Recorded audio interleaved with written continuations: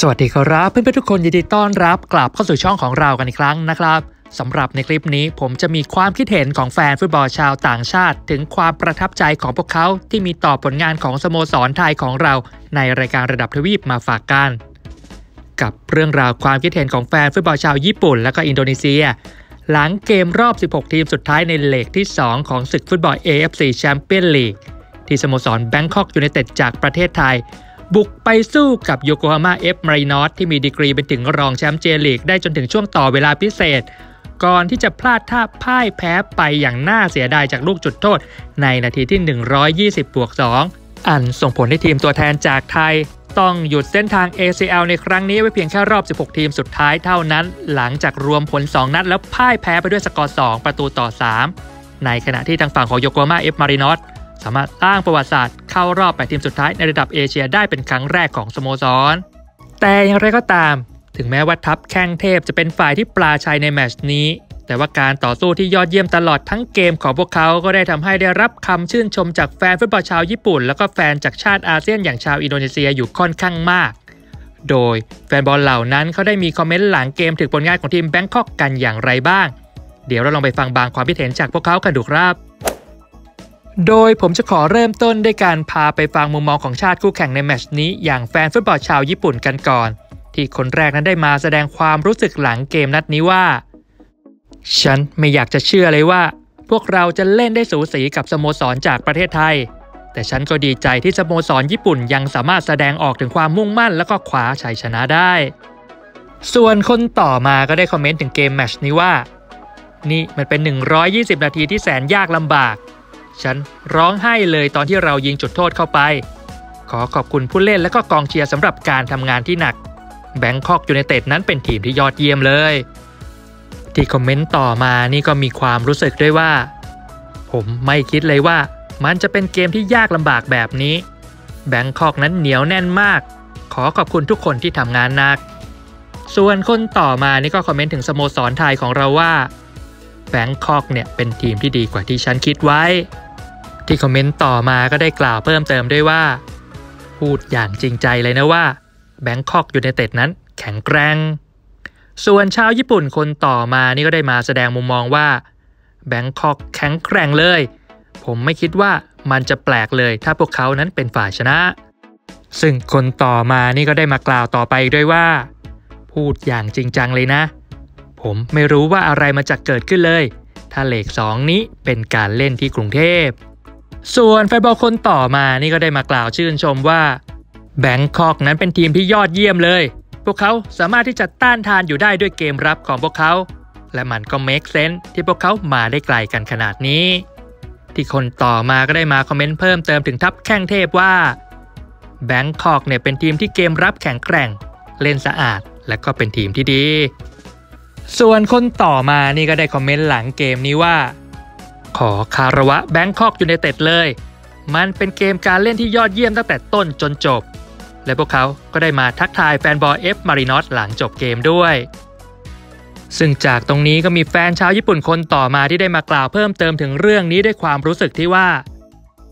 ฉันรู้สึกหวั่นไหวเลยเมื่อได้เห็นผู้เล่นและก็สตาฟของทีมแบงคอกยูไนเต็ดมาขอบคุณแฟนฟุตบอลของมารินอส ฉันเคยรู้สึกแบบนั้นตอนที่บุญจังอยู่ที่นั่น คนไทยเป็นผู้คนที่ยอดเยี่ยมจริง ๆ ฉันต้องการให้เราได้สร้างความสัมพันธ์ที่ดีกับประเทศไทย ฉันอยากให้เราได้เล่นกับแบงคอกยูไนเต็ดอีกครั้งในสักวันหนึ่งที่คนต่อมาก็ได้มากล่าวเสริมต่อไปว่า ระดับของทวีปเอเชียมันได้พุ่งสูงขึ้นแบงคอกยูไนเต็ดเป็นทีมที่ทั้งแข็งแกร่งและก็สุภาพ ในขณะที่แฟนบอลคนต่อมานี่ก็ได้มาคอมเมนต์ไปอีกด้วยว่า ขอแสดงความยินดีกับมารินอสในเกมวันนี้ แต่ในตอนนี้ฉันได้เป็นแฟนแบงคอกยูไนเต็ดไปแล้ว ส่วนแฟนบอลในลำดับต่อมานี่ก็ได้มีมุมมองถึงเกมแมตช์นี้ว่าแบงคอกยูไนเต็ดมีความเหนียวแน่นมาก มันเป็นเกมที่ยากกว่าที่เคยได้เจอมาในอดีต แต่เราก็สามารถชนะได้เพราะว่าทุกคนต่อสู้กันอย่างไม่สิ้นหวังมีคอมเมนต์ต่อมาก็ได้มาชื่นชมไปถึงการเล่นของ BU ว่า พวกเขาสู้ตายกันอย่างแท้จริง ต้องขอขอบคุณทุกคนในทีมแบงคอกยูไนเต็ดเลย สำหรับการทำงานกันอย่างหนัก พวกคุณแข็งแกร่งจริง ๆ ที่คนต่อมาก็ได้มากล่าวชื่นชมผลงานของแบงคอกด้วยว่า มันเป็นการต่อสู้ที่ยอดเยี่ยมเลย เมื่อมองจากสภาพอากาศที่มันหนาวเย็นในมุมของประเทศไทยแบงคอกยูไนเต็ดนั้นแข็งแกร่ง พวกเขายอดเยี่ยมจนต้องยกย่องพวกเขาหลังจบเกม ซึ่งจากตรงนี้ก็ได้มีคนต่อมาที่มาคอมเมนต์บอกความรู้สึกด้วยว่า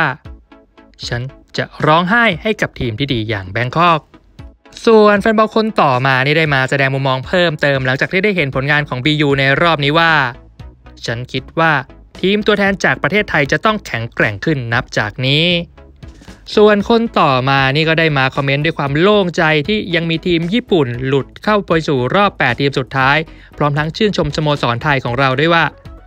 เจลีกได้หลีกเลี่ยงการโดนทำลายล้างจนสูญสิ้นได้สำเร็จ ทีมแบงคอกยูไนเต็ดนั้นเก่งมากจริง ๆ มันมีนักเตะบางคนที่ผมต้องการที่จะได้เห็นในเจลีก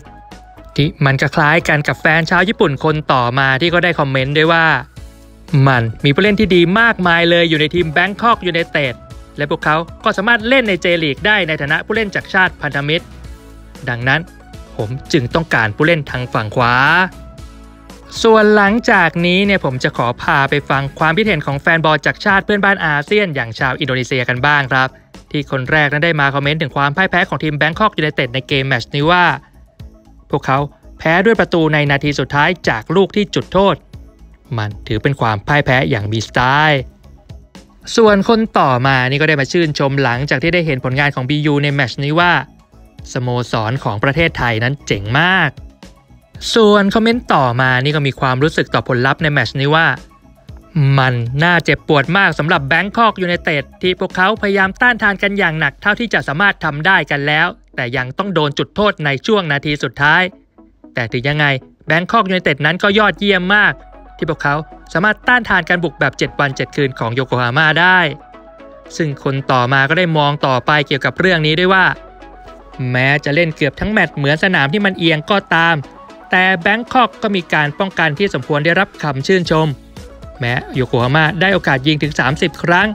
แต่มันก็ยากมากเลยที่จะเข้าเป้า ส่วนคนต่อมานี่ก็ได้คอมเมนต์เพิ่มเติมถึงทัพ BU ว่า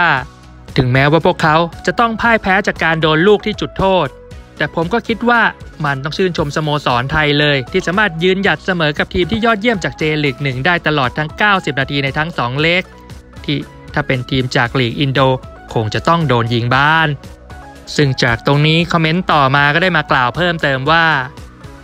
นี่มันได้พิสูจน์ถึงคุณภาพที่ดีของไทยลีก ที่พวกเขาได้เข้าไปเล่นถึง 3 สล็อตในรายการ ACL ส่วนแฟนชาวอินโดคนต่อมานี่ก็ได้มาแสดงมุมมองเพิ่มเติมในเชิงเปรียบเทียบว่า ช่องว่างระหว่างลีกอินโดนีเซียและก็ไทยลีกเนี่ย มันใหญ่มากเลยนะ ที่ก็คล้ายกันกับคนต่อมาที่ก็ได้มาคอมเมนต์ด้วยว่า มันเป็นความจริงอย่างยิ่งว่า สโมสรของเรามันห่างไกลกับไทยมากเลย ส่วนคอมเมนต์ต่อมานี่ก็ได้มาแสดงความคิดเห็นในเชิงชื่นชมหลังจากที่ได้เห็นผลงานของทีมแบงคอกยูไนเต็ดในแมตช์นี้ว่าสโมสรของไทยไม่เห็นจำเป็นต้องซื้อผู้เล่นราคาแพงแบบทีมอย่าง JDT เลย แต่พวกเขาสามารถทำผลงานกันได้ดีกว่า มันจึงเหมาะสมที่สโมสรของประเทศญี่ปุ่น จะเอาผู้เล่นจากไทยลีกไปเล่นกันมากขึ้นไปอีก เพราะนอกเหนือจากการที่พวกเขาเป็นพันธมิตรกันแล้ว ผู้เล่นท้องถิ่นของประเทศไทยเองก็มีคุณภาพที่ดีด้วย นั่นมันจึงเป็นเหตุผลว่าทำไม พวกเขาจึงสามารถไปเล่นในลีกของประเทศญี่ปุ่นกันได้ ซึ่งจากตรงนี้แฟนบอลในลำดับต่อมานี่ก็ได้มาแสดงความเห็นเพิ่มเติมในแง่บวกมาถึงลีกไทยของเราว่า ไทยลีกนั้นคือลีกมาเลขหนึ่งของอาเซียนในตอนนี้ ถ้าผู้เล่นอินโดไม่สามารถไปเล่นที่ทวีปยุโรปได้ ก็ควรที่จะไปที่ประเทศไทย ที่มันก็โอเคเช่นกัน